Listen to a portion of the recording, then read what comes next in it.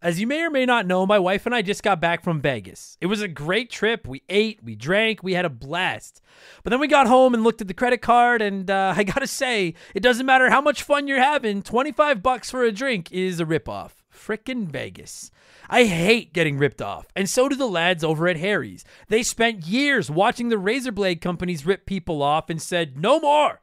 Not all heroes wear capes, my friends, and they want to prove that they're legit by offering you hot dogs a $13 trial set for just three bucks at harrys.com slash RTG. I've been telling you about them for months, and I'm genuinely proud to have Harry's as a sponsor of this show. I wasn't kidding. The plastic, futuristic looking crap razors you get at the store are overpriced and they're poor quality. Harry's blades are crisp, clean, and classy. They're the kind of razor you'd expect your grandpa to have on his bathroom counter. And most importantly, they work. Shave after shave, they're so smooth, they're precise. I used to go through the crappy store blades all the time, but Harry's are built to last. And they're not just better quality than the other names, they're more affordable and they deliver. Just set your schedule, and for as little as two bucks, new blades, shaving creams, lotions, everything you need, right to your door when you need it. I genuinely cannot think of a reason not to try Harry's.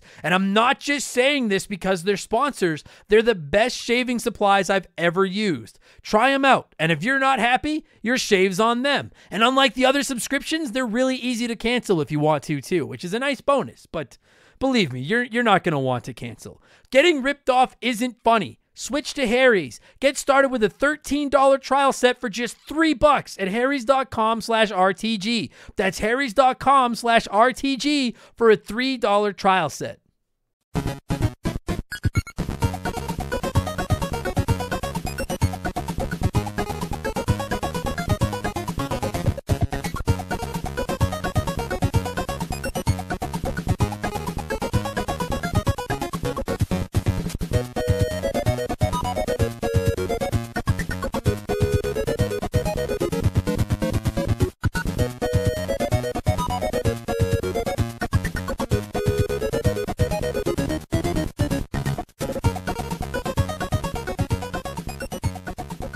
What's up, everybody? Welcome back to Remember the Game. It's my retro gaming podcast where every week a buddy of mine and I sit down and geek out about the games we played back in the day. My name is Adam Blank. Thank you guys so much for listening to the show. This week it is episode 86, and we are talking Kirby's fucking adventure for the NES. This is dude, like I'm telling you, even if you listen, if you shit on Kirby and you're one of those people that just hate on his games, this one's worth your time. All right, we're gonna explain why more in a few minutes. Bradley McCue is here; he's back on the show. I'm really excited to talk about this one. This is this is gonna be much better, a much happier episode than last week. I uh, the Ecco the Dolphin fucking train wreck, and uh, thank you for the great feedback on the Ecco the Dolphin episode. That was nice. Many of you agreed with me that that game is completely fucked.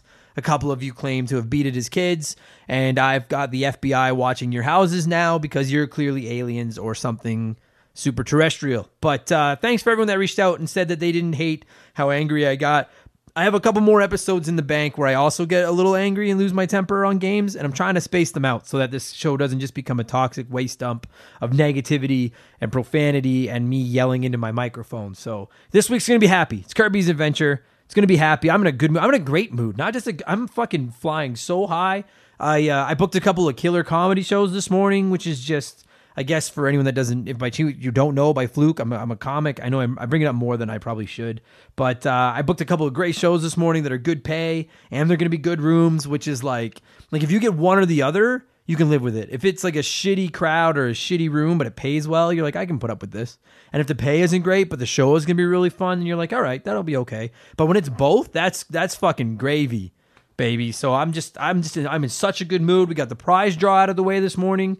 Uh, speaking of that, congratulations to Dave L. He has been a supporter of the show since day one, and I feel like he's been the runner-up two or three times in the prize draw, and he finally got her done. So congratulations, man! Fifty dollar gift card to the console of your choice. And if you're wondering why I was fifty, nobody claimed the January prize, so we rolled it over into March. Normally, I give away twenty five percent of everything I earn. Um, our Patreon is going up. Uh, and I know, I like, listen, I have to talk about it. It's my job, all right? You get no advertisements. You get a free show every Wednesday. I got to talk about it a little bit. uh, our Patreon went up like record high this month. So that was really fucking cool. So thank you all so much to the new people that signed up. Uh, I am going to give some Patreon shout outs this month. The list is getting too long, and I don't want to quickly inhale and just bomb through all the names. So I'm just going to do about half this week, about half next week, and that way everybody gets their shout outs. Um, and I, as I've been talking about, I've been teasing a big prize for the episode 100 slash one year giveaway or one year Patreon anniversary in June. That is still the plan. I'll drop some more big details on that soon. Uh, so if you, again, if you're interested, patreon.com slash remember the game, two bucks a month. You can win stuff, you get extra podcasts, you get a shout out on the show, just like the following people are going to. Massive thank you to all of my Patreons, which include Andre, not quite the giant, Andy Baker. I know someone else named Baker that I don't really care for, but I like you, Andy. Newcomer Ashley K, welcome to the show. Ben Ben Drinking Barlow, also newcomer to the show, ben, or the Patreon. Sorry, I should say, same as Ashley. Uh, ben Bulliu. I'm sure I fucked your name up, Ben. And I'm a Habs fan. If you don't know, that's the Montreal Canadiens. They are a French hockey team. I should know how to pronounce that, but I don't. Uh, Bradley McCue, who is your guest on this week's episode. Taco Shirt Chris, the generous man that once hooked me up with a whole bunch of GameCube games just for being. I don't know why, just because he's nice. Uh, Chris Sumner, who I think says summer every single time I read it. Daniel Brooks, who just finished recording an episode of the show with me as well. Dave L., this month's winner of the Patreon prize draw. Dave McGinnis, the cooler of the two Dave names, Dave McG. Uh, James Clark, I can't think of anything clever to say about your name, James. Jason Adams, you have a great last name. Your first name could use a little bit of work. Jeffrey Mathis, brother of our very, I assume brother of Michael Mathis, the very first winner of our Patreon prize draw. Joe Buck, who won last month's prize draw. Joe Gillespie, who has one less win than Joe Buck. John Taylor, who's been with the show for quite a long time now. Josh from Press Start to Join. You guys should check out his podcast if you've got time. And the Ignatic freezer. I don't even know what that word means, or if it's a real word, but freezer burnt, uh, Casey. So there's uh, some shout outs. If you didn't hear your name, you're going to get a shout out next week. I'll finish them off next week. That way they're not as spread out and I don't have to rush through them because you all deserve your 1.5 seconds in the sun. So, um, Oh, also, not only is our Patreon going up, but like our downloads, and I talk about it all the time, but like our downloads are still consistently every single time I log into Podbean and check how we're doing, we're up 10 to 20% over the previous two, two weeks. It's never not up there. It's fucking insane. Like, I don't know how it's happening. I don't know if more and more people are discovering the show. Like, I'm legitimately like confused as to how we're getting the traffic. Like, as I look at it right now, we're up 13.2% over our previous two weeks. And it's always there. So, I mean, if you're new and you're catching up, like I say it like numerous times a week, but like, thank you guys so much. Like, fuck, like, anyone that's ever started a podcast from scratch with no like celebrity endorsement or following or anything like you're like if you get 100 downloads you're like oh my god we got 100 downloads and we're getting like 3000 downloads like we're getting over the last week we have almost 1800 downloads in a week which is fucking insane to me so like Thank you guys are the best. I fucking I like you guys. I like you guys very much. I was gonna throw out the L word, but you know that word gets thrown around too easily today. But I, I think I might I might be falling in in L word with you guys because you are so nice to me and you support the the show as well as you do. So. Uh, anyway, so that's quick talking about the game. Oh yeah, and just quickly, um, I'm trying to figure out what game we're going to talk about on episode 100. I've got, I think I'm down to two games. I just got to figure out which one I want to do. Uh, I I legitimately consider doing Bubsy, but we haven't given him quite the love he deserves yet. He will get eventually get his moment on the sun on this uh, show, but it won't be at episode 100, not yet. It uh, be one or two games, and they'll both be very big games. So um, in other news, uh, they released the Final Fantasy VII. You guys know? Oh yeah, quickly, because I, I, guess I should have said it six minutes ago. Uh, if you hate the rambling and just want to listen to us talk about Kirby, look in the description of the podcast, and there's a timestamp telling you where to skip to. Uh, you probably wish I, if you like to do that, you probably wish I would have told you that six minutes ago. But tough cheese. Um, they released a Final Fantasy VII remake demo uh, on the PlayStation Network yesterday, and I'll be honest, I didn't expect that. I uh, quite. I mean, maybe they'd already announced that a demo was coming and I just missed it, but I was quite shocked that they released that. And I think that that is a uh, an awesome sign, like a phenomenal sign, because like demos are not as common as they used to be. I remember there was a time where it felt like every game got a demo, and that certainly isn't the case anymore. Um, and I won't say that I get nervous about every game that doesn't release a demo. Uh, I think that might be a little unfair, but I will say that uh, I get a lot more confident in a game when they do because most of the time, a demo means they're confident that they're going to get good reviews, right? I mean, because like a bad demo could fucking ruin a game. before it comes out. And like like with the exception of Cyberpunk 2077, uh, is that what it's? I don't actually I don't know if I've ever said the number. I always just say Cyberpunk. But anyway, with the exception of the Cyberpunk game that's coming out in the fall, I don't know how many games have got the expectations on them that Final Fantasy VII remake do. And so if they're dropping a demo like four weeks before that game comes out, they're like, you know what, this is this doesn't suck. We'll be okay. Here you guys go. Um, I I don't intend to play it. I think I'm just gonna hold off. I just I can't imagine the reviews of this game coming out being so bad that I'm not just gonna buy it and play it anyways. And I just don't think I want to spoil anything for myself. I'm just gonna uh, I mean, it'd be different if it was one of those demos where you can play it for a little while and then it saves your your progress and, and carries it over. But that's not the case in this one. So I'm just gonna hold off on that altogether. Uh, but I did post about it on the Twitter, and I don't. I'm gonna try to do a little bit more of this. I want to read some of the feedback I got from people. Uh, by the way, at member the game on Twitter, we'll follow you back. We could be friends. Uh, I just posted is the de- the demo's out. Are you gonna try it? What do you think? And some of the people that reached out were uh, stupid monkey said uh, he wanted to fire it up just to see what the control scheme is like. Um, Roim21, uh, sorry if I'm pronouncing it wrong, Dan. I don't fucking, I can't, I don't know how to fucking pronounce that. Uh, he said he's passing on it. He'll probably pick it up when it's about 20 bucks. Uh, he's just not fond of that episodic uh, approach, which I'm going to talk about more in a second because I don't necessarily disagree with that. He said it just seems like a way to milk money out of all of us. Um, so I don't, I don't necessarily, again, disagree with that at all. Uh, Darren Wright liked it. Um, I can't read all the comments. I was going to, but there's a lot of comments on here. Um, I should have. You know what? I'm gonna start doing this more, but I should fucking prep a little bit instead of just going into my Twitter and fucking reading them. Uh, at Goose Sneaky said uh, uh, it was okay, but I think the demo was enough for me. The melee combat system is very simple. You just hold square. I get that people are really excited for this game, and I genuinely hope the full release is great. But the demo was just a bit meh, and he didn't care for the voice acting. Uh, but then conversely, other people are saying that they seem it looks absolutely incredible and they can't wait. So it seems like there's mixed feedback on the demo, but I will say that like from what I have seen, it has been more positive than negative. Uh, the combat does seem to be a bit of a sticking point with people, and I'm a little curious to see where we go with that. Like I wasn't expecting them to be original Final Fantasy VII slow methodical JRPG combat, but I also hope it doesn't get too actiony and like Devil May Cry fucking wild either. So uh, I'm gonna hold off. I think I'm just I want to go in fresh. Uh, I can't wait. Cannot fucking wait to get my hands on that game.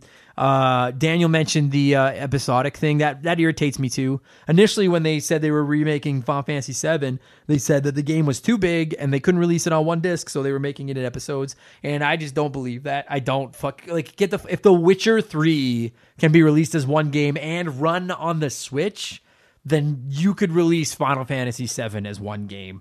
Um, like the, the, bottom line is they're doing it to make more money, right? And I understand that, I, and I obviously understand that they can't just come out and say, "Well, if we release it as three or four parts, we can make three or four times more money." I get why they can't say that, but I don't buy for a second that the game is too big. Uh, having said that, one of the things that I am the most interested in is how long each uh, part of the game is. Because if you didn't know by chance, the the first the the part that's coming out next month only gets us through Midgar. I believe that once you leave Midgar, that is the end until part two comes out. Um, now, if I'm not mistaken, and from what I've read on the original Final Fantasy, that was like four or five hours, right? Like that's not even the end of disc one. And so if they're selling us an eighty dollar game that's four or five hours, then of course the review like they may as well not release part two because everyone's going to tell them to stick it up their ass. Uh, I'm curious to see because apparently they've added a ton of meat to the bone in this game. A lot more flushing out the backstory and more stuff to do. And if we're getting like 30 hour like parts for our 80 bucks, then that's a much easier pill to swallow. So that that's my biggest thing. Far more than the the game looks rad. The voice acting I could take or leave. Um, I I the combat seems to be very polarizing, but as long as it's not complete garbage, I can I don't care really. Uh, I'm there for the story of Final Fantasy VII, and I think like most of us, we just want to see a game we played as kids done up in these great big fucking high def 1080p QR HD 4K graphics or whatever the fuck it is. Uh, I want to see how long it is. I want to see if there's enough meat on the bone to justify these continuous $80 purchases. I also think that they with the chapter thing that they hope to have Chapter 2 as a launch title for the PlayStation 5. I don't know if that's going to happen, but I think that that is at least what they're praying to because that would be a huge fucking launch title, right? Like the Xbox Series X is going to be launching with a new Halo, and if if PlayStation can come back with Part Two of Final Fantasy VII Remake, that's about as big a you know chip as they can fucking put in their. what a dumb analogy. Uh, anyway, that's about as big a bullet as they can put in their gun. So, um, speaking of that too, speaking of the PlayStation Five, like I hope they've got something. I know I touch on the console launches most week. It's hard to be a video game uh, commentator these days and not be weighing in on the upcoming release of the PS5 and the Series X. But like, I hope that Sony's got something in the bank because Microsoft isn't saying much either, but they're saying a lot more than fucking Sony is. At least Microsoft has rolled out some like details on their on their like Sony's like Sony has not said a fucking thing. Not a thing like we don't know any of the specs. We don't like they haven't set a like obviously no release date, which Microsoft doesn't know either. No price, no launch, like nothing. And to me, that says one of two things: either Sony has got a monster ace hidden up their sleeves, or they are scared as fuck. Um, they've never lost. The PlayStation 3 came close because they fucked up the launch, but they recovered. They have not lost a generation. And the longer they wait to say something, the more they come across as being nervous. Um, having said that, I ran a poll on Twitter asking, "Hey, are you planning to buy one of the new systems? Which one are you going to buy?" Fifty-nine percent said the PlayStation Five. Uh, 24% said Xbox One, 15% said neither, and two and a half of you percent said both. Uh, so, and that's two and a half percent of 80 votes. So that's got to be like two people said both. So there's two rich people following me on Twitter. Uh, but the, so the 59% of the PS5, 24% to the Xbox One. So that's over two to one. People are still saying they're going to buy the PlayStation 5 over the new Xbox, uh, not the Xbox One, pardon me, the Xbox Series X. I mean, Microsoft is doing everything right going into this launch. They're releasing specs of their system. They've got the most powerful console. They're offering that smart delivery or whatever it's called now, where games that you bought on one system instantly get you get on the new system right away. Plus, they're going to be rolling out Game Pass that comes with a mountain of backwards compatible games. Plus, it's going to be launching with a new Halo game, which is their biggest gun or biggest chip in their bullet gun or whatever the fuck I was trying to say. Uh, and it's gonna have game like it's like they're doing everything they can do. Sony hasn't said a fucking thing, and their name alone has got them with twice over twice as many votes as the Series X. So I cannot wait to see how this plays out. I can't wait. Like realistically, I was thinking about it, and I'm I'm sure a lot of you that are around my I'm 36. A lot of you that are around my age are the same boat. Like I lived through the the SNES Genesis console wars, the Nintendo 64 versus the PS1, the PS2, Xbox, GameCube, Dreamcast fucking all out melee that PlayStation 2 dominated, the PS3, Xbox 360 console war, and now this generation. And like, it's a big deal. You don't get a ton of console launches in your life. Like, I'm 36, and outside of the NES, that's one, two, three, four, five generations of systems. And then Nintendo just doing their little weird thing where they're kind of off to the side. Like, we don't get these that big, that, that many, you know, we don't get too many of those in our lives. So I, am going to keep talking about it. I'm sure lots of you guys are reading about it and following it. I'm very interested to see how this all shakes out. And I want to see which of those two companies blinks first because one of them's got to fucking say something soon. It's the only other thing I could think of is the coronavirus is causing a lot of problems with development. A lot of people have been talking about, like, forget the new consoles. I guess the Nintendo Switch they're running into some problems with getting parts or getting them manufactured or something and the and coronavirus is wreaking havoc on everything right? And obviously it's a terrible thing and people are dying and stuff like that. Um, but like i it's I, i'm curious to know how big of effect it's having on the ps5 and series x launches. Like i'm wondering if maybe that's why the companies aren't saying more and dropping dates and stuff because I wouldn't be completely shocked if this generation gets delayed. And it would be a huge black eye if one of these systems came or one of these companies came out and said their system's coming out like October 24th or fucking whatever, and then it, they had to delay it because of the coronavirus. So I think they're waiting to see if they can manufacture them in time to get them out before they come out and drop us with a hard date. So um, it's pretty interesting, man. I don't know. I I think I'm gonna get one. I don't know which one yet. Um, I, I think it's you know I'm saving a little bit of money right now, just a few bucks, just putting it aside, trying to get ready. Uh, and that's another thing is it's hard for, and I'm sure lots of people like me can't just go out and buy a, a fucking $600, 700 dollar system on a whim. Like if you're gonna buy one, you got to save for it, and it's hard to be saving your money for something when you don't know how much it's gonna be or when it's coming out or which one you're gonna buy or anything like that. It's you know it's it's very weird that they've got these huge, super expensive systems coming out potentially in six or seven months and aren't saying anything. So, um, having said that, I think I'm leaning slightly toward a Series X, but because of Game Pass. But we'll see. We'll fucking we'll see. We'll see. Uh, what do we have for time? Holy fuck! Okay, I gotta go quick. Uh, you know what? No, I'll talk about that. No, you know what? Fuck it, I'll talk about it right now. Uh, a sealed copy of Mega Man sold last week for like forty grand, and I don't understand. I think, and I don't. I just don't get that. Like, I get game collecting, fucking totally. I, I totally understand why people collect old video games. I don't understand why you'd buy sealed copies of old video games. That's just me, but I'm like, that's just, it's a game you can't play. Like, it, what if someone opened it, got the game out and stuff, and then just put a note inside that says, haha, and then managed to reseal it properly? Like, it's, I just, I can't imagine having $40,000 to drop on a game that I can't play without taking away $39,500 of its $40,000 value. I just, I think you're crazy, frankly, if you're spending that. And and I feel comfortable saying that because nobody listening to this is spending forty thousand dollars on a video game they can't play. And if you are, you better goddamn well be supporting us on Patreon for two bucks a month too. So like I'm sitting here trying to decide if I'll be able to afford to drop like 600 bucks on a video game system in the fall, and you're dropping hundred times that on a 35 year old game that you can't play. What the fuck? That's I mean, that said, it is Mega Man, and Mega Man is awesome. So I can I can get behind. I guess I can get I can get on board with supporting Mega Man, just not for forty thousand dollars. Fuck. Anyway, this has gone on long enough. I used to play a ton of Mega Man when I was a kid, but I have not played Mega Man this week. What have I been playing? You ask? Well, I'll tell you. I uh, I finished the Halo 2 campaign on the Master Chief Collection. By the way, the Master Chief Collection is fucking dope. Apparently, it had problems to start, but it is really, really good now. And I don't want to say anything really about the Halo 2 campaign because we have an episode recording scheduled to talk about it for a future episode. But uh, man, just great memories. Fucking Halo 2. So uh, I am still playing Sonic Mania. It's been like a month. I'm still playing it. That I, I can't stop. That Patreon episode is going live on Monday where I review Sonic Mania. And I just want to let you guys know it's going to be very, very, very, very, very positive. So if you want to hear a die-hard Nintendo fan come on and say something incredibly nice about Sega, fucking that's gonna happen on Monday for the that Patreon episode. Sonic Mania is the tits. Uh, and then, as many of you may or may not know, I picked up a PlayStation 4 recently, a used one off a friend of mine. And one of the rad things about jumping into a gaming gener- generation or console like super late in its lifespan is the cheap games. I did that with the PlayStation 3 and got stuff like Last of Us and Uncharted and those games for like 10 bucks each at EB Games or whatever.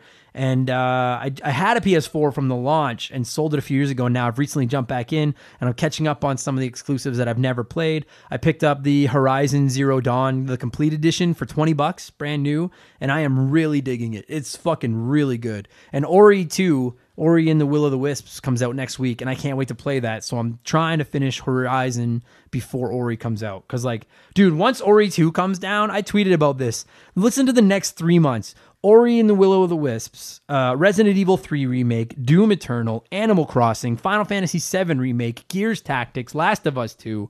Those are just some of the games that I'm interested in over the next three months. That's fucking, oh, it's a good time to be a gamer, man.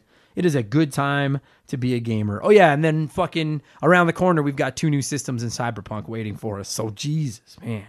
Anyway, that's what I've been playing this week. Let me tell you about what I was playing uh, a month ago, or I guess not. I just read the word a month. Uh, fuck, that would that would have been so smooth, and I fucked it up.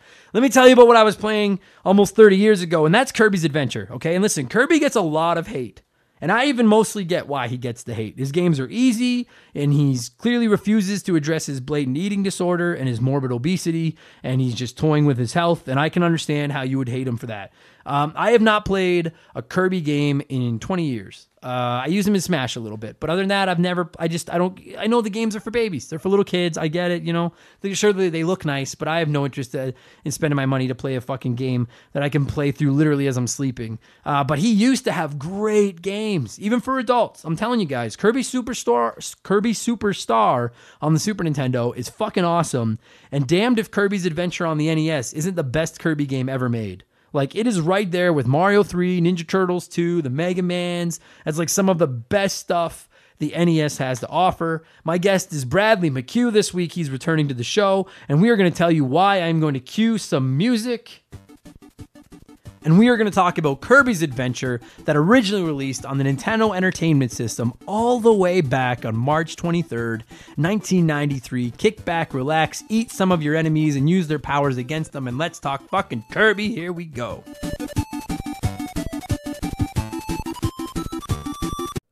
This show is sponsored by BetterHelp. Everyone that listens to this podcast knows about our illustrious CEO, my dog Molly. But the other silent partner behind the scenes is my wife. And let me tell you, my friends, a 17 year relationship with another person that has to talk to and live with you is a lot harder to maintain than one with a dog. We've had our ups and downs, and as you all know, a relationship isn't all sunshine and rainbows. They can be a lot of work. You get out what you put in when it comes to relationships, and talking to a therapist can be a fantastic way to put in some work. They can help you work through your issues, learn to communicate better, and even just provide you with an ear to bend when you need it. I've talked to my therapist about my relationships, especially when it came to my stand up comedy career and how much I was away from home. And they helped me work on ways to keep my relationship strong even when I was out on the road. Uh, it turned out our relationship was actually better when I was out on the road, but that's that's a story for another day. And I know, right? Therapy. Who has the time these days? BetterHelp hears you, and they're making it easy. Fill out a quick form online, and they'll match you up with a therapist that suits your needs and that'll work around your schedule. You pick the meet times, and you can get your therapy fix from anywhere over video, phone, or just chat. Become your own soulmate, whether you're looking for one or not. Visit betterhelp.com slash remember the game today to get 10% off your first month. That's betterhelp, H-E-L-P dot com slash remember the game.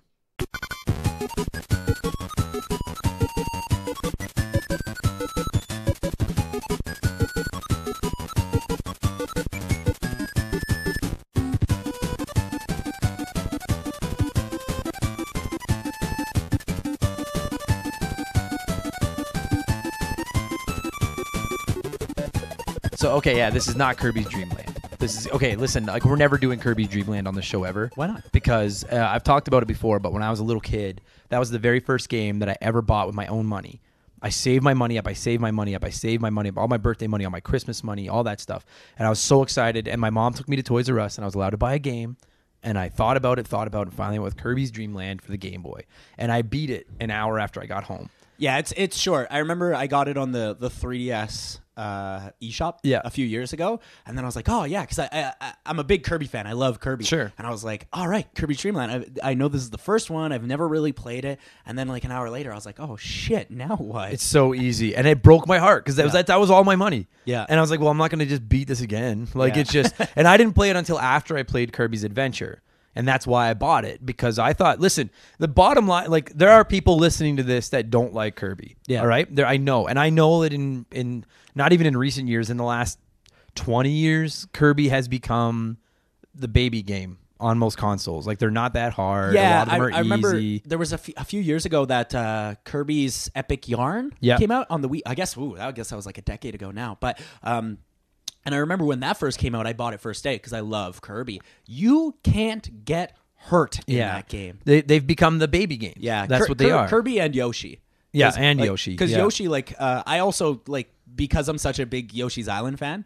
Um, I'll always buy Yoshi games. Like I got the was it Yoshi's Woolly World Ye- uh, for the Wii or for the Switch? for the Switch? Yeah, uh, Is that- Yoshi's Crafted World. Yeah, Yoshi's Crafted World. Right, right, Yeah. right, right, right. Um, I got that, and I was, 'cause I, and I'll always buy it. I'll always buy it, knowing full well it's never going to be as good as it was. No, no. And yeah, Yoshi's Crafted World, like fucking, I could, I could have played that game with my eyes closed. It was so. Bo- I bought that one too. It was so boring. It looks boring. gorgeous, but it was so in- boring. incredible looking game. But like, um, as far as Kirby's Dream Land goes, um, I almost think there's no excuse for that game because I know that that was um, uh, Sakurai's like baby. It was like his first big game that he directed himself, Right. And it, it- like it was his baby, um, and so they just wanted to get it out, right? They just wanted to get it out. But if you look at something that came out, it might have been the year after, or maybe a couple years after. But look at Link's Awakening.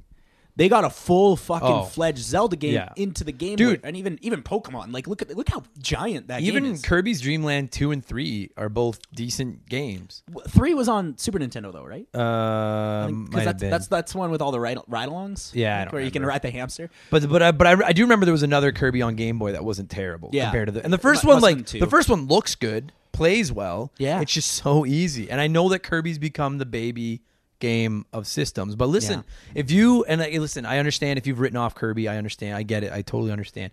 If you own a Switch, if you own uh the Nintendo Classic, uh Kirby's Adventure is on there, and both, like yeah. and listen, like this was like th- this to my while Kirby Superstar for the Super Nintendo might be better, but I'm actually, I'm actually, I'm gonna, I'm gonna stop you there for a second. I actually disagree.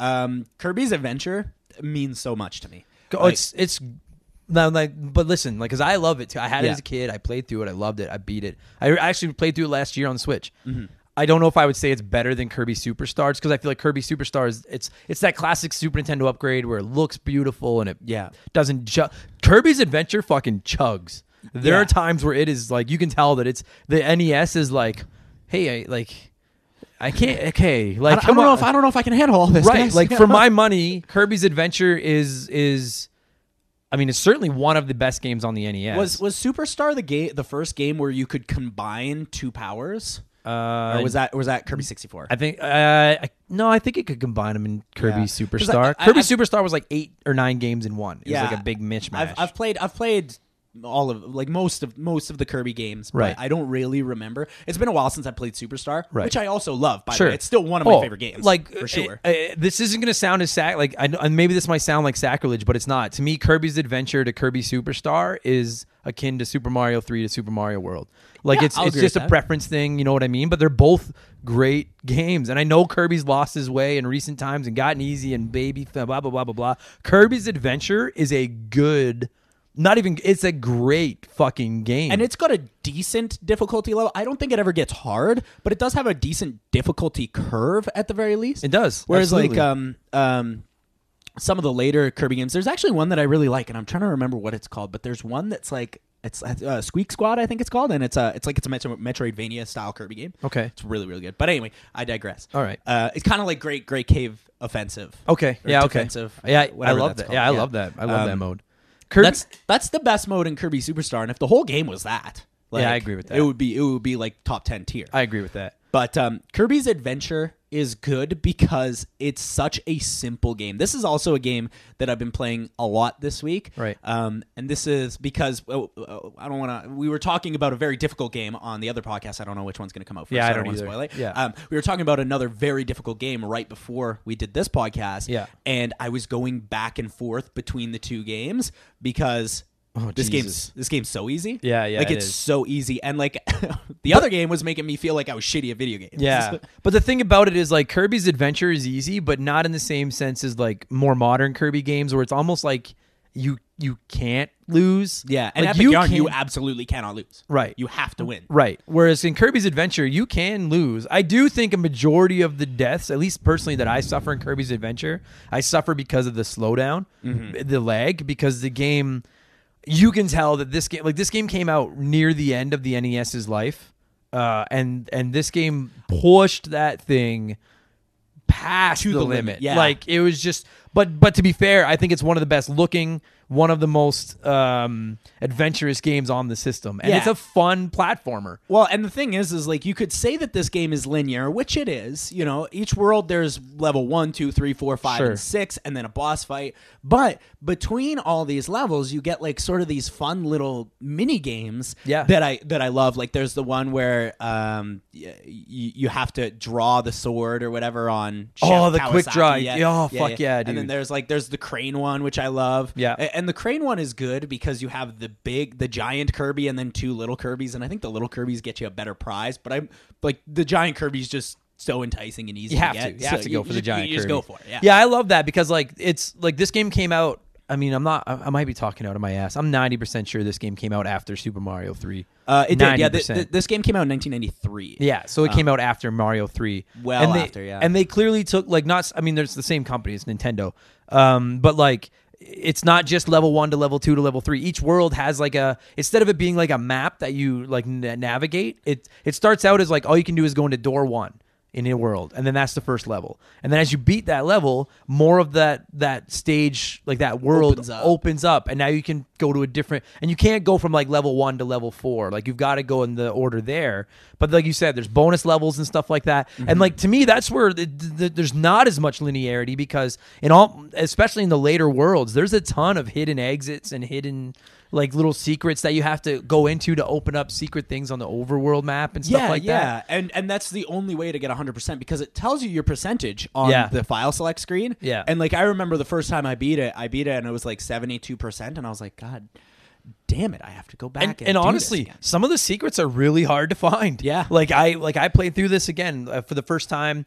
I don't know about a year ago, Mm-hmm. and uh, I never hundred percented it. Like I didn't want to look up where anything was. Yeah. but I was hundred percenting it for about the first four worlds, like easy, and I was like, all right, there we go. And Well, then all of a sudden, I missed something. I was like, what the fuck? Where did I miss that? Like my first, um, my first exposure to this game was actually the the remake on Game Boy Advance, uh, Nightmare in Dreamland. Okay. um, which is just it's just the same game. And Nightmare in Dreamland actually adds something cool. If you get hundred percent, you can actually replay the whole game as Meta Knight, which is pretty. T- Oh, that's pretty rad. Pretty I love Meta Knight. I don't know if that's in the NES version. I'm pretty sure it's not. I've No, never I don't think 100%ed it is. No. The NES version. Um, but uh, it does go. It does go to say this game does have a fucking beautiful looking remake that you can play on Game Boy Advance. That's pretty rad. Um, but there's so like every level in this game has so much detail to it. It really Like, does. Yeah, like like a crazy amount of detail where you're looking at and you're like, how do they even achieve this on the NES? Like uh, you look at the backgrounds, like some, and that's something that I try not to do in video games because it's distracting. Like for instance, like Mario Kart. You ever just stop and look at the background? Yes, and It's- I yeah, it's amazing. You can get fuck you up. lost in Yeah, it. yeah. Yeah, yeah.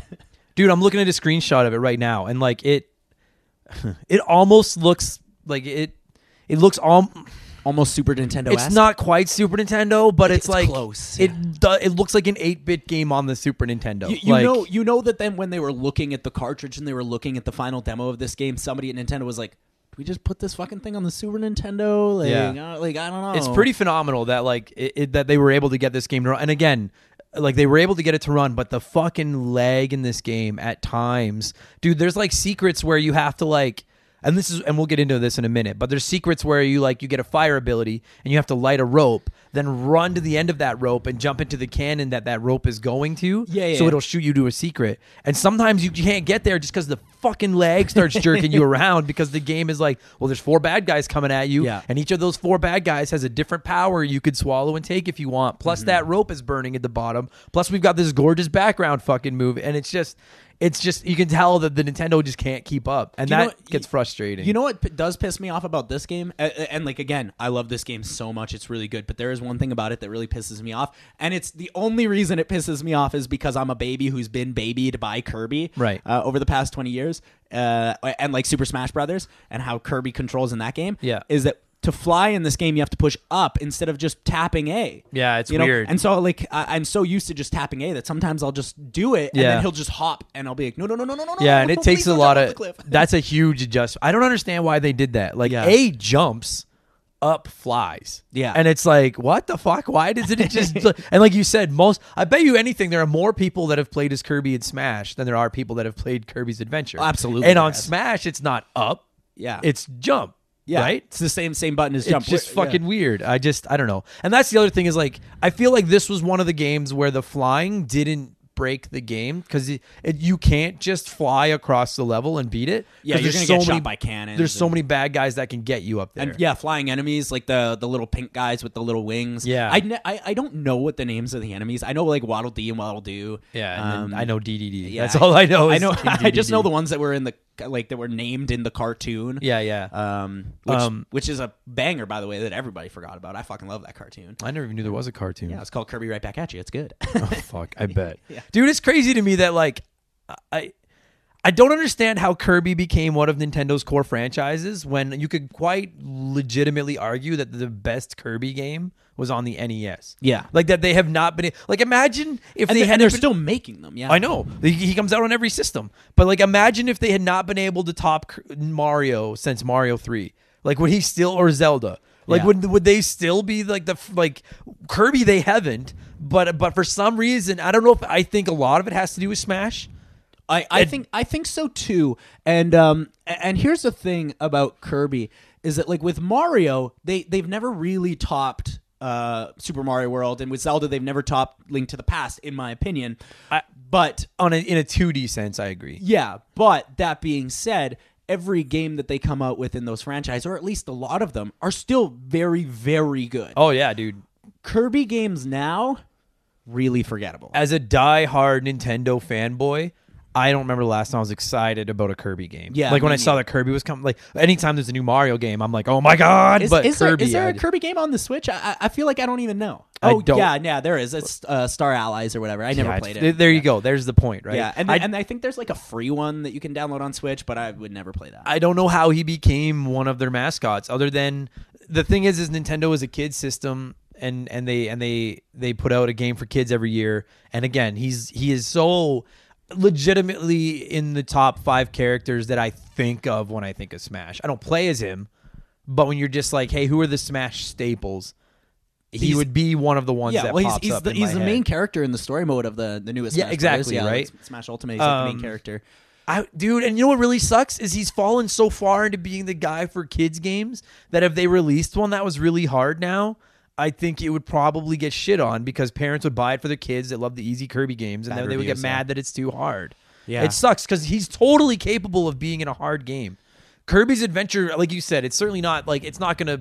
You're going to beat it, but it's not. It's not brain dead. Yeah, yeah. float You- through. You will have to think about. You will die in this game. You totally will. y- Yeah, a couple And- of times. Maybe not that much, but you will die. Particularly if you want to try to get all of the extras and all the secrets and stuff like that. Yeah, you know what I mean. Absolutely. Um, I also uh, want to talk a little bit about uh, some of the power ups in this game because this is like the first game that had like such a plethora of power ups. Yeah, I agree. Uh, I th- was there even power ups in Kirby's Dream Land? I feel like there wasn't. I, I feel like this was like the first game that you could swallow enemies. Yeah, I don't think- I, I I- might be wrong. Yeah, I don't remember. Yeah. Um, I, yeah, you might be right. Yeah, because the whole idea of him being Kirby was initially just that he could he could suck stuff up and then Yeah, blow it out. And that okay, so like there you go. Like that's one of my big things about Kirby because like I've always loved the Mega Man series, and as a kid I never owned a Mega Man game. I always rented them. I never owned one, but I always I was so fascinated with the idea of taking a bad guy's weapon and being able to use it. Like I just I like borderline. It's like a borderline fetish for me. I just think it's so awesome. It's two two ends of the spectrum there for sure. They, one of the easiest franchises, one of the hardest. Absolutely. Yeah. But like I loved that concept. And when I got a hold of this game and realized that like like it's to the point where like when you're a bad guy that I can't take your power, I usually don't even try to kill you Yeah, unless I I'm don't- killing you with another power. I'm like, leave me alone. You're Well, and, and sometimes suck. some of these characters in this game they they're, they won't even try to hurt you. Yeah, so they're just so you're like, why would I? Yeah, it's just like a bird, and you're like, I'm gonna eat that bird. Like Yeah. fuck him. Yeah. Whereas like any guy that you can take a power, like I am constantly switching my power in this game just Yeah. because it's so they're all fun. Like they I- are all fun. Like and some of them are basic, right? Like there's you can you can blow the fire beam out your front or the ice. the ice. You can swing your giant laser beam. There's the sword. The sword one, There's and the, that's um, that's one I think I used the most. the sword. It's not, yeah, it's not Me my too. favorite one. We'll get to that in a minute. But Okay. it's, it's not my favorite one, but I, it's probably the one I use the most because it's so readily available all the time. I love the Al- sword. although I love the the spin cutter, like the boomerang. Oh, yeah, Um, yeah, that, yeah. That's one of my favorites. That's too. my favorite. Is this like you can throw? It's like a giant blade, and you Yeah. fucking throw it like a boomerang. That's my favorite weapon. Yeah. Or this. The reason I love this sword so much, partially, it's because you can see him carrying the sword, and he looks cool, and partially because when you jump and then use the sword, he just turns into a ball with a swinging sword all around him. Yeah. and I love that. Plus, there's the boss fight where you fight Meta Knight. And I fucking oh to this day I think it's so rad. Yeah. You go into this room and Meta Knight like appears up like on a ledge, uh, like on a ledge, and like throws you a sword, and the sword like gets stuck in the ground, and it just says grab it, and you have to take the sword, and then you fight him like a sword fight, and I just think that's so cool. Yeah, it's such Like, it's such a wicked idea, and I also think this is the first game that had Meta Knight. probably is. But the weird thing about this game that would then bleed into a lot of Kirby games later on is that they they must have known that they kind of wanted him to be an anti-hero because sometimes he'll show up and be like, "Get him, boys!" Yeah, yeah. All these dudes will show up to try and kill you with like uh, chainmail or whatever. Or sometimes he'll show up and be like, "Here's a one up." Yeah, Meta Knight's it's funny because like Kirby is obviously such a kids franchise, and Kir- like Kirby, it, it's all he's almost like it's almost sickening how obviously he was designed for children. Yeah. a little cute pink fat ball with pink shoes. Well, this is also this is also the first Kirby game that ever had color, and Right. so this is the first time he's ever depicted right, as right, pink. But it's so obvious that that's what it is, right? Yeah. But then, but then this Meta Knight comes along, and like, like when you think of like when I like when you think of like the Shadow the Hedgehog is supposed to be like the anti-hero of this, Edgy. uh, and he sucks. You're like, dude, you look like you look stupid. You have rollerblades and guns. You're a fucking loser. Whereas like Meta Knight just seems like I'm sure underneath the cloak and everything, he's not that cool. But he just seems so badass. Well, like, I, I think about like a lot of video game franchises and how they have like uh, uh most most video games will have like the main character and then a character that like counters them. Like in Zelda, there's Dark Link, and Yep. um, in in Mario, there's Wario. or Dark Samus. Dark Samus, yeah. But if you think about those characters realistically, they're just the same thing. Maybe Wario's a bit of a a, a step away from Yeah, Mario. you, you fucking be you you walk on thin ice you fucking shit on Wario around me. Yes, but yeah, I understand what you're saying though. But like, yeah, like they're pretty similar. Whereas Meta Knight, they're like, we need to have a we need to have a contrast to Kirby, but he's got to be different enough. Yeah, yeah. Because like there, it is. I don't know if you've ever seen him. In, in fact, in this game, I think you see him without his mask, and it's just he's just like a yeah, a- it's just like a black. just a black Kirby. Circle. Yeah, yeah, he's, yeah. Just, he's just Kirby. He's Yeah. the same species as Kirby, but he has the cape and the mask, and he is always wielding his really cool like jagged sword. Yeah, yeah. So like they really put some time and effort into being like we want to make it uh, like a like a contrast. And Meta Knight's a cool name. It's Yeah. not like they didn't just call him Dark Kirby or Night Kirby or something. Yeah, you know what I mean? Like, There's like um I'm I'm trying to think about it. There's like some canon lore that Kirby was also one of those knights at one point. Like his name was like Light Knight or something like that. Oh, okay. And uh, and he was just like, "Fuck this! I don't want to be part of this anymore." Oh, I didn't know Um, that. Yeah. There's also like if you ever look into the canon of this game, there is it's pretty pretty buck crazy. See, and like, Like- I, like, why can't they do that? But again, if they tried to do it now, they'd probably like he's stuck. He's pigeonholed into being the kid guy. He's- we're uh, stuck. Absolutely. Uh, okay, sorry. So we were talking about the power ups. Those are some of the cool power ups. My favorite is the cutting blade thing. I like the cutting blade. What's your favorite? My favorite, and it's I think it's only in a couple of levels, is the UFO one. Oh yeah, where you, where you can fly around in the little UFO and shoot little lasers. he and you can literally turns into a. UFO. Yeah. yeah, yeah. The only thing I hate about the UFO is that you, it's the only weapon you can't take out of a stage. Oh yeah, you gotta Which- you gotta ditch it to go through a door. Which makes sense. It would make some of this game incredibly oh, easy. if you could play UFO the whole game, Yeah. Oh It fuck. would, be, it would be so easy. But as soon as, because like you go through the final, you, you know, like uh, when you get to the end of the level and there's a door and there's a big star above Yeah. it instead of just the door. Yeah. Um, and then you're like, oh, cool, I'm at the end of the level. You go through that door as the UFO, and as soon as you get to that um, little mini game at the end, Yeah. you're just Kirby again. Oh fuck. Yeah, I guess I guess yeah, that would break it. But- Yeah, I, I do. I do love that little mini game at the end of each level, though, where it's like press A uh, when it yeah, as far down. it's as like it a goes. slingshot, and Yeah. you have to hit A as far down as possible Without him coming back fire him up. back up in the air. Yeah. And I here's the thing is that I sometimes get one, sometimes I get seven. I could never quite figure out the exact timing for it. no, me neither. Yeah, I mean, I, I got the the one ups and stuff, but it was just luck. Like, Yeah. it was just Yeah, every every like three or four times I'd get it, and I'm like, all right, we Yeah. we got her. they do they do such a good job in this game, and this is uh, of making all. I mean, minus one or two of making all the abilities uh feel different. Like Yeah. I- there's the odd like the parasol feels a lot like the sword, but even that he runs around with the with an umbrella instead of a sword, and when he falls, he takes the umbrella out and floats. Like Yeah. Mary Poppins or something, Yeah. which I think is really cool. Like you said, there's the beam, there's the fire, there's the ice, the UFO. You can turn into a tire. I love the tire. It Yeah. almost Oh, plays like a. It almost feels like an NES Sonic. yeah, where he it, does it the feels kind of cheap sometimes. It absolutely does. Uh, you can get stuff like the wrestler. I Yeah. love the wrestling Yeah, when you, suplex. gra- when you grab them and you toss them over, right? Like Yeah. that's so sick. There's there's that. There's like you can get the mic. I oh the mic one where you only get three attacks. Yeah. You can only use it three times, but it basically wipes out the whole screen. What I love about that is the first one he screams into like a megaphone, and then the second time he's got like a microphone like in a mic stand, and then the third time he's got like that big classic fu- mohawk, Yeah, yeah. yeah. like like I I think that like just those little touches. They only last for like one second. It's Yeah. just your uh, attack animation, and then it's gone.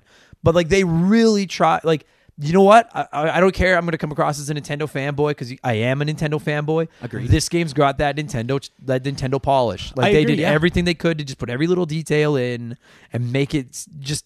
I fucking I love that. Like it makes so much. It has replay value because you can play with different attacks. yeah, Like and- that alone. And with with this game, like I honestly believe this is maybe maybe with the exception of Super Mario Brothers three, probably my favorite NES game.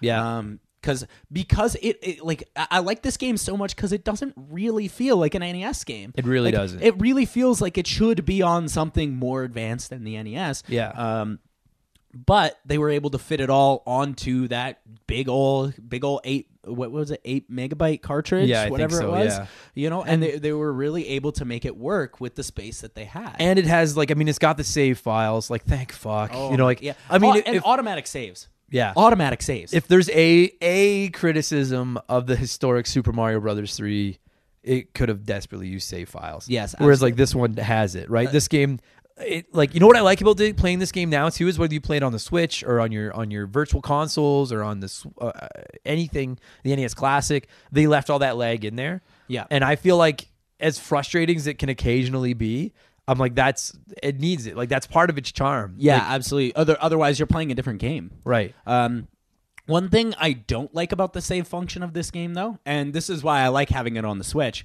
um, using like save states when I turn the game off, Yeah.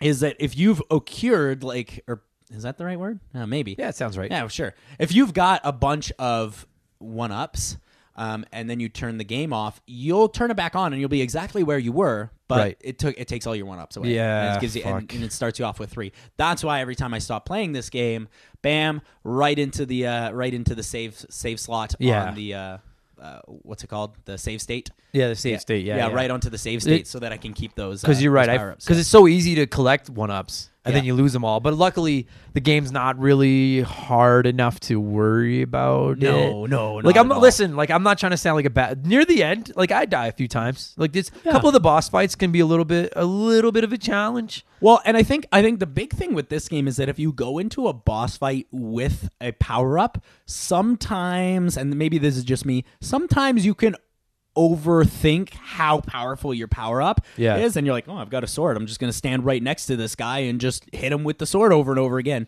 But that tactic doesn't really no, work. no, and but you see, and again, like that's to me, that's one of the great things about this game is that other than stuff like the UFO, you can go into a boss fight with pretty much any power, and each power is going to attack this boss completely differently. Mm-hmm. Like, and like you said, if you've got something that shoots from a distance compared to if you've got the sword and you have to run up right against them and fucking attack them, and, and uh, it completely changes the way you make the game. And what I love about it is if this isn't working for you, if this power isn't working, then you hit select, you drop the power, it just turns into that giant heart, uh, star bouncing around. Yeah. Then you can at least swallow that star or breathe the star in and spit it at him and do a bunch of damage that way. Yeah, I love that mechanic. that is the the way to damage an enemy like the most. yeah, and I love that mechanic. That they're like all the powers just make it different. But even if you don't have a cool power, there's tons of stuff that you can just swallow and spit at bad guys. And like you said, most of the bosses, including DDD, you have to uh, wait for him to produce those giant stars. Yeah. and then suck up the stars and then spit them at them. Let's- and I love yeah. that concept. let's talk about some of the bosses in this game because there's a lot of mid bosses in Yeah. this game, but then there's there's even some even cooler bosses. But let's talk about some mid bosses.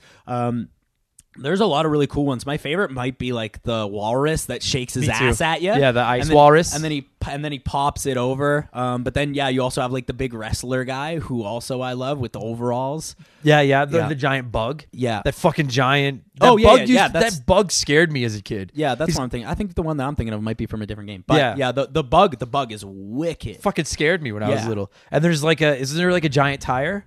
Yeah, yeah, there is. That there's a giant tire, and, and if you jump over it, it'll hit the wall and it'll spaz out on the floor for a second, Yeah. giving you just enough time to hit him. There's the fucking uh, that laughy guy that throws bombs at you. Oh, that like just hops around. Yeah, his name's like Bomb Jack. Or I fucking like hate that guy, Yeah, but- so- something like that. They never get old because they're they're like they're like the Kirby version of Boom Boom. But there's four or five of them, and they, Mm-hmm. they they never I never got tired of fighting them. well, yeah, and then and then every world has a different like really unique boss fight. Yeah. and I want to talk about one that I think is just is just my favorite, and may- maybe my favorite boss fight in any Kirby game. And I w- I'm wondering if it's your favorite as well. Uh, but we'll uh, see.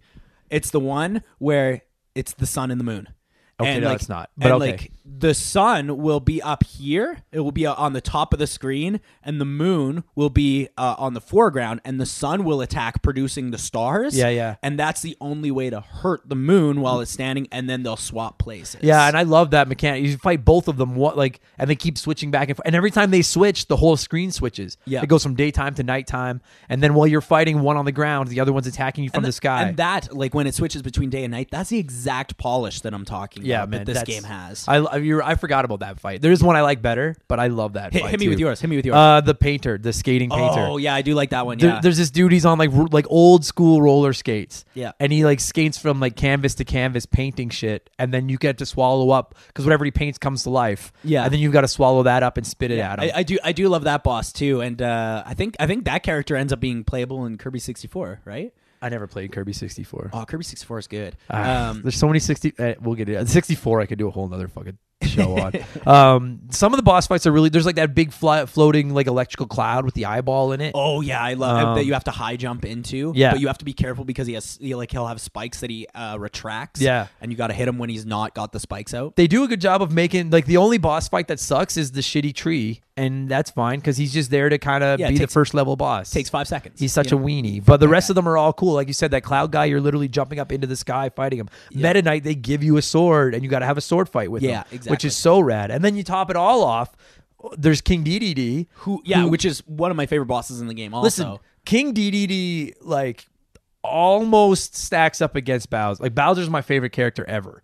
But Yeah. King DDD is really cool. I'm so glad he's in Smash now.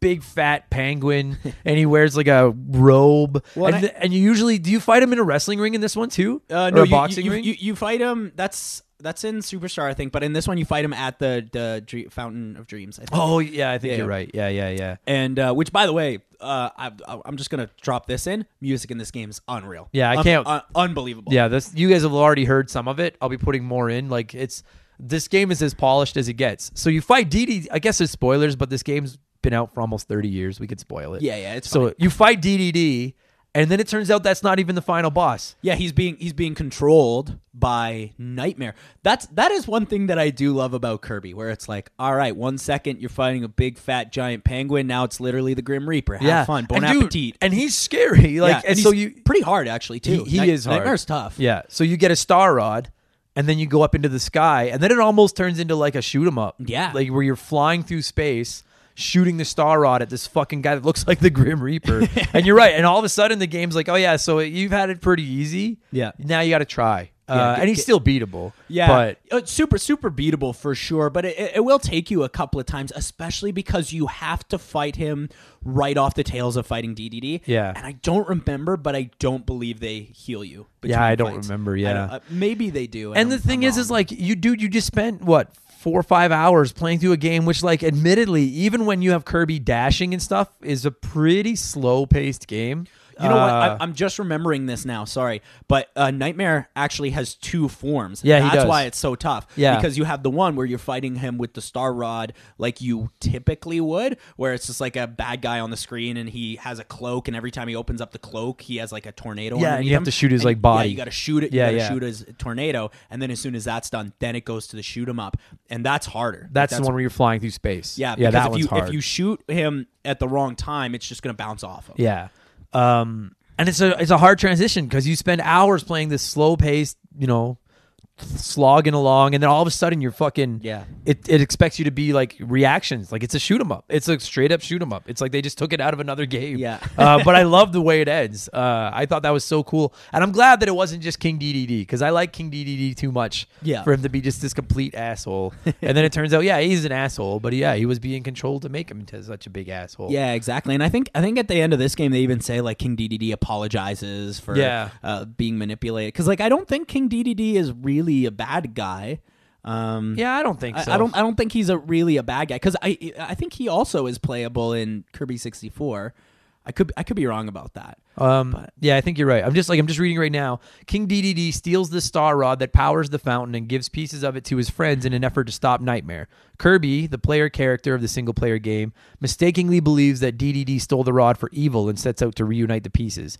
When Kirby defeats DDD and returns the rod to the fountain, Nightmare goes in outer space to spread bad dreams, and Kirby follows him. So yeah, so DDD's Yeah, not D- even a bad guy. Yeah, he's, he's doing he's doing the right thing. I love He's- DDD. He's, doing- fucking rad. You know, I, I there's not really story in the game, but I'm glad that somebody out there is doing enough research about these oh, games. Oh, Wikipedia. Yeah. God, thank God for Wikipedia. Thank like, God. It's because I'm not gonna lie to you. I have no fucking idea what the yeah, I would is. I, I would just be like, oh yeah, you play the game and then you oh, Yeah. fight the penguin. For all I know, Kirby's actually the bad guy. Yeah. And everyone else is just like, dude, stop eating us. And Kirby's like, no, I'm Actually, when you put it when you put it that way, Kirby absolutely is the bad guy. he kind of is. yeah, because uh, all these people who are just trying to protect the world and Dreamland, they're just trying to protect everything. He He's he's like, oh fuck you, I'm gonna I'm literally gonna murder you for this. it just runs around eating all of you. It's like reverse Mario.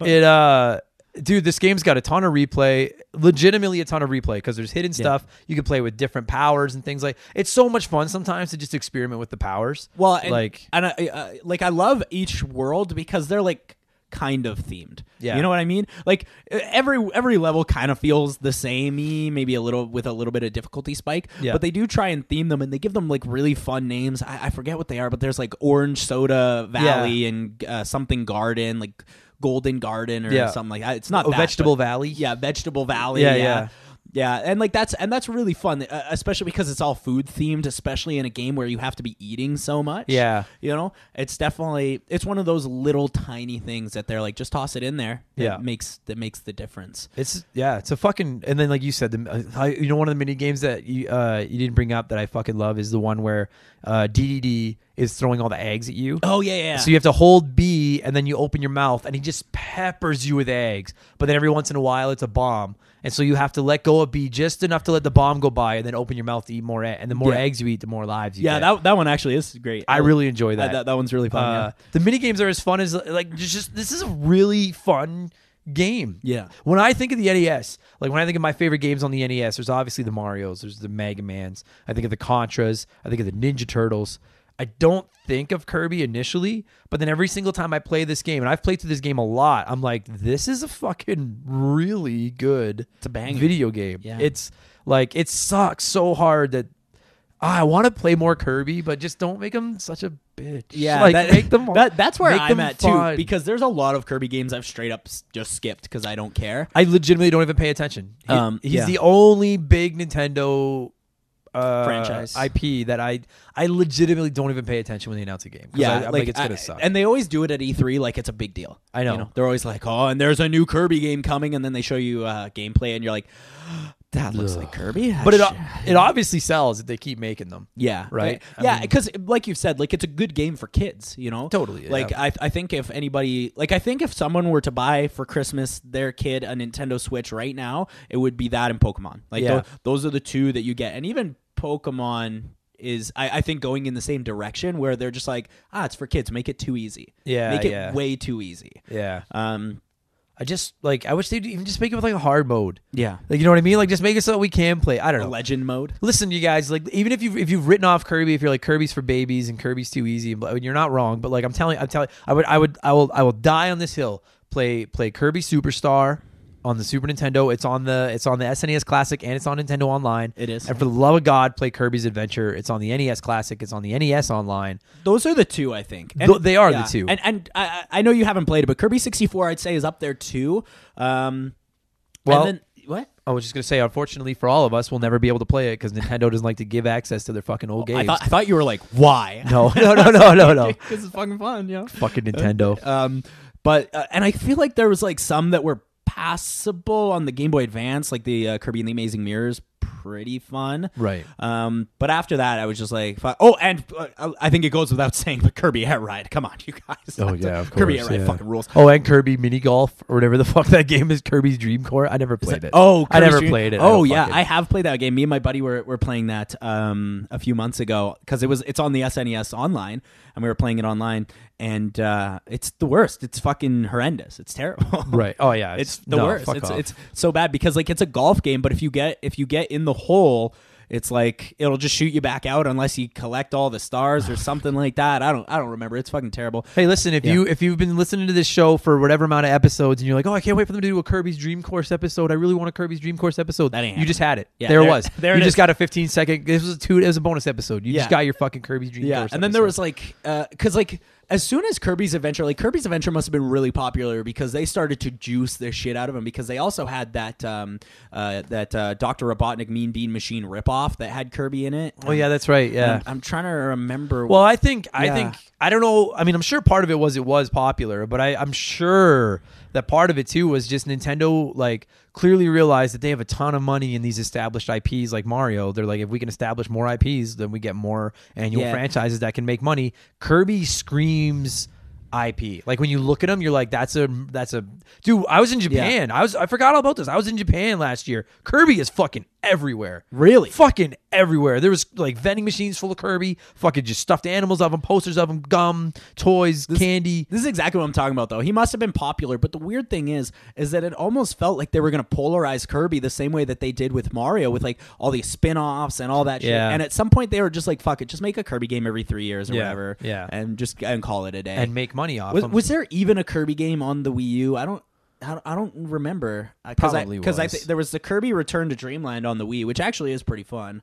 Um, yeah, they're probably. I mean, listen, I, I've defended the Wii U to death because I liked the Wii U, but like, even I'm like, I, I couldn't tell you all the games that are on the fucking like uh, that poor system. Just Nintendo pretends that system never happened. Yeah, I like I like the Wii U too, but I feel like every game that came out on the Wii U was like a safe version of the franchise. Yeah, yeah. Like uh like the, I I might get some shit for this, but like Super Mario 3D World, that's fucking the safest game of all time. I don't think it's that good. I like know? it, Yeah. but I I agree. It's not. It just certainly didn't do anything experimental. no, it it does it does absolutely nothing for the franchise. Whereas Odyssey, that does a shitload for the franchise. Yeah. man, that does tons for the franchise. Yeah, the Uh, two the two best things the Wii U did were Mario Kart 8.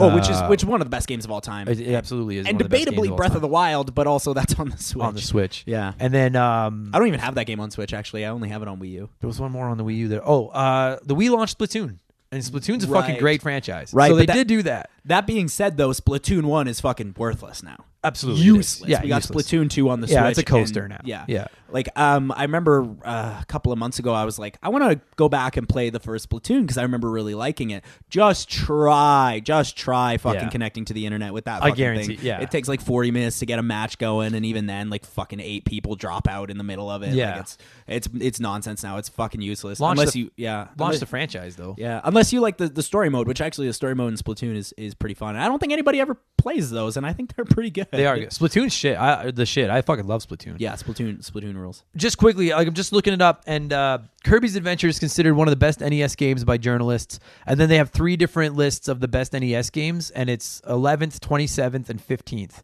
Eleventh, uh, man, I, I feel like that's too low. and I, This I 27th is vastly too low. Yeah. and I think 11th, like to me, there's a, a very solid argument to make that it's a if it's a it's a top 10 NES game. yeah, and like I think I think if you're gonna say Kirby's Adventure is the eleventh best NES game, I'd have to hear the other ten, but I, m- I I might let you slide on it. But Yeah. for me, it's like it's my second favorite NES game, of course, only Uh, surpassed by Super Mario Brothers three. I like this better than I like the Legend of Zelda, which is saying a lot because I love that game. Yeah, well, the original Legend of Zelda is kind of it's yeah yeah it's kind of it's Yeah. kind of outdated you know and, and i do i love it i absolutely love it and i've got the whole game memorized at this point Yeah. but um it's not it, it doesn't age well No, it hasn't. i don't think like like for instance like there's like that sword behind the fucking be uh, underneath the cemetery that you practically fucking need to beat Ganon, but it's under a random tombstone, and there's a hundred tombstones. Why, why the fuck would you go around and push all of them if only one of them moves? It was yeah, I, I yeah. I played that game for the first time last year, like through to the end, Yeah. and really enjoyed it. But yeah, it's it's just it's ancient. That's yeah, all I. I, I played then- it. Yeah, And to okay, so and like and to me that's a great closing thought on Kirby is that like the original Super Mario Bros is still fun, but it's obviously been done better. It's the aged, original yeah. Zelda has definitely been done infinitely better. The original Metroid I'm not. I'm sorry, but the original Metroid borderline sucks. Yeah. like like like a lot of these first versions aren't that good. The original Kirby is not only playable today; it still is arguably the best version of, Of Kirby. Yeah. It is so good. It deserves to be in everyone's top 10 list on the NES. Even if you're listening, I know I people that message me, I know people that listen to this show that don't like Kirby. I'm telling you, this is the one and Kirby Superstar. Well, and even- this is the one that yeah. is worth playing. Well, It's even fun. um, even Castlevania, like like the first Castlevania is one of my favorite games of all time. Symphony of the Night's better though, surpassed. Absolutely. By, So is Super Castlevania. yeah, Like, yeah. Super just- Castlevania Four. They've yeah, all done it better. Love that game. Um, okay, I'm trying to come up with a cool number to fucking score this thing out of. Let me just. I'm looking for some kind of stat or something. Yeah. Um, Se- seven warp stars. Yeah. Okay. Yeah, that'll fucking work. All right. Yeah. there's- seven worlds. Seven- How many seven worlds worlds. would you give Kirby? I'd say, I'd say, you know what? I'm gonna give it six warp stars or six worlds. Six worlds out of seven. Yeah, me too. Yeah, Actually, yeah. I, I It's- love it. I truly do. It's I- really good, and even the lag doesn't hurt it. Yeah. I, I have no, I know it. Like I played through it on my Switch, and like I was like, I would have paid ten dollars just to buy this as like an indie game and play it right now. Yeah, like I had absolutely. no problem with it. like if Nintendo was like, hey, uh, like right now, if Nintendo released like an eight or sixteen bit Kirby game, and they're like, we just released it on the eShop for twenty five bucks, Just Kirby's Adventure 2. Yeah. And just make it the same thing. I, I would fucking buy that in a heartbeat. Done. It's over. That's all Um, over. Yeah. No, I, I, I really love this game, and I'm, I'm glad that I got the opportunity to talk about it. Dude, I'm glad someone talked about this. This game, we waited too long to talk Kirby's Adventure on here. Yeah. And quite frankly, guys, outside of Kirby Superstar, we may never talk Kirby on the show again. So if you're a diehard Kirby fan, I hope you got your fix. And if you're a Dream Course fan, that was your episode. Yeah. Uh, you know, it- you it- know that there's like a huge Dream Course Yeah. uh, uh, fan base that Just- are just waiting. one guy. And Yeah. uh, he's listening to this right now. And he's just like, those sons of bitches. He's like hitting unsubscribe. yeah, that's fine. Leave no, it's one not. star. Please don't unsubscribe. I One need the, star review. Yeah, I need I need every listener, please. Uh, Bradley, good job, buddy. Thanks for doing this. Hey, thanks for having me on, man. I, any chance to uh, get to talk about video games, I'm gonna take. Fucking rights, buddy. Go Kirby. Hell yeah.